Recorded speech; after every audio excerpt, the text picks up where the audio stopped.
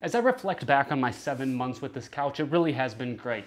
It's super comfortable for two people to sit, one right here and the other right here. Sitting in the middle isn't so comfortable because the cushion's kind of split right here. But it's been great to sleep on in a pinch and works as a nice little guest couch too. Two people can sleep on it comfortably. I'm six foot one and I feel like I sleep on it pretty well. Now you can see how soft and comfortable this material is. It's also really easy to clean with a damp rag as well. Me and my daughter both eat on this and whether we've gotten food or drink all over it, it's been super easy to just wipe up and keep it clean. And this right here is kind of the coolest aspect of it. Let's check out what it has right in the middle here. It's like a drop down table and that's got this nice flat surface here where you can set like a remote control or you could even set some plates of food. And then it's got two nice sized cup holders right here as well. And this is really easy to flip up and down which makes it really nice. And one of the great things is that it was really easy to set up as well. You basically just have to screw the legs into it and unfold it and it almost sets itself up. So I think it's a great futon for anyone who needs something for a small space that's stylish and modern looking,